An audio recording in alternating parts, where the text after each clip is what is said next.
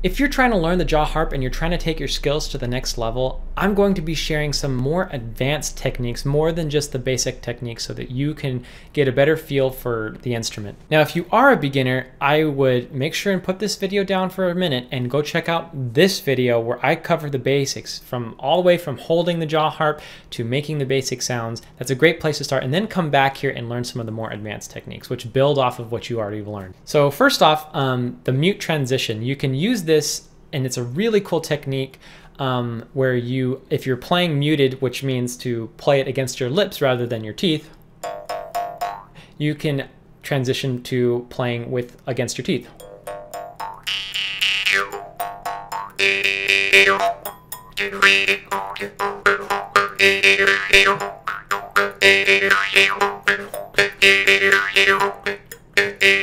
If you're careful, you can make that transition and then incorporate really both sounds into your rhythms. Another interesting thing to do is to roll your tongue and you can then incorporate it into a rhythm. So if you just roll your tongue, that sounds awesome, but being able to incorporate it into a rhythm is even cooler.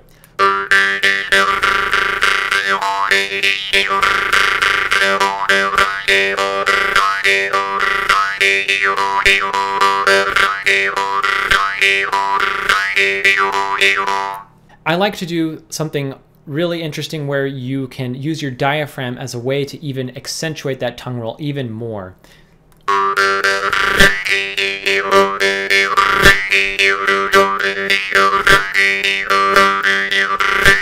So I'm just pushing with my diaphragm, making it that, you know, common sound we've learned about already. And using my tongue as a way to kind of make a crescendo.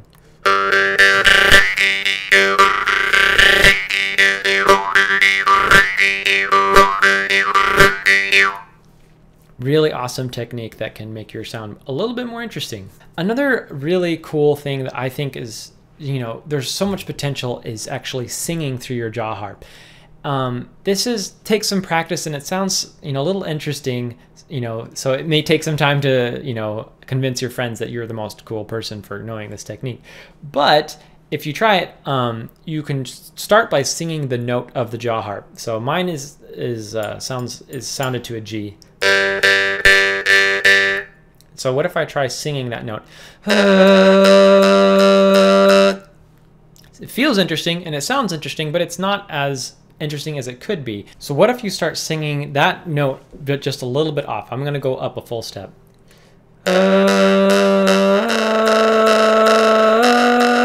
And then another step.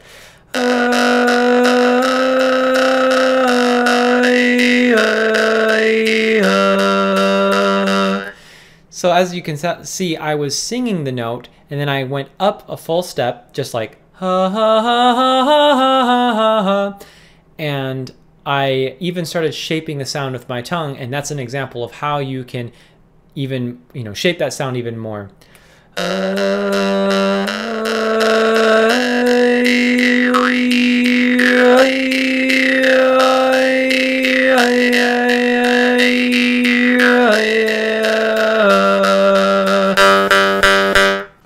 cool technique that is can really make your song a little bit more interesting. Okay, so another technique that um, I call the dog pant is, you know, it's you know pretty standard affair for a lot of advanced playing, and if you've ever pretended to pant like a dog, you're just way ahead of the game here because that's exactly what you're doing.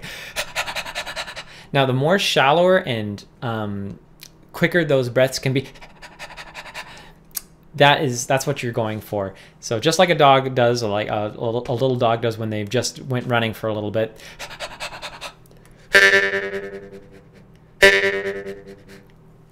And once you get the hang of that you can do things like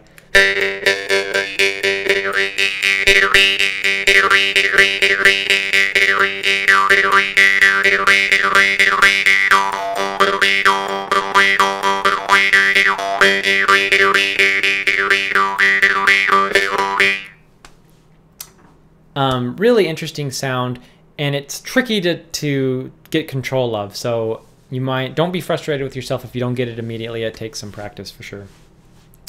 Another uh, technique is to do the double strike. Um, so instead of just striking towards you, you can strike both ways. And then you can further modulate the sound by changing the shape of your tongue.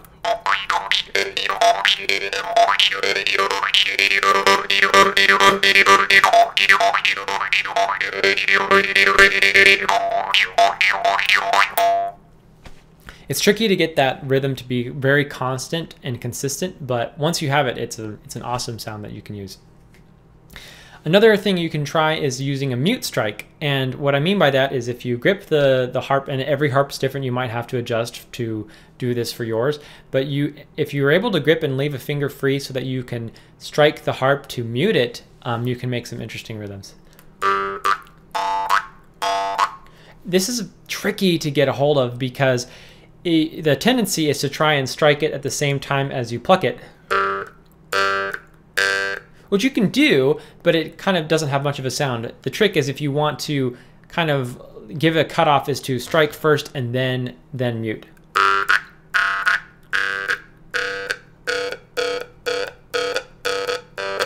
So that gives a you know it gives the hearer uh, the impression that it's being cut off you know sharply. So I'm going to put some of these all together into a more advanced rhythm, and I'm going to use my bass harp because it sounds better in this particular rhythm. And I'm going to use some of the, the things that we've learned today. And this rhythm comes from a game called Rayman or Origins. Awesome jaw harp in one of the songs. And I don't know who the harpist was, but they, they're just tremendous. And I tried to imitate it as best as I could. Um, but it's a really fun rhythm to learn. I'll go slow.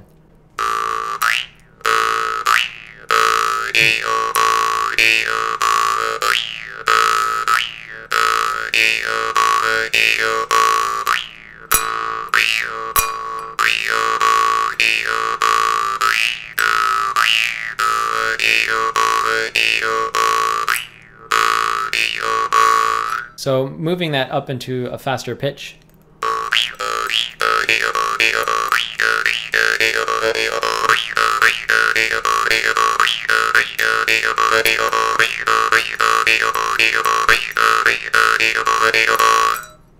So as you, as you, can see, we're incorporating several of those techniques. We're using some sharp inhalation. We're using some of the muted strikes to kind of give that sound some interesting. And there's just so many possibilities that you can do when you combine all of these techniques that we just talked about.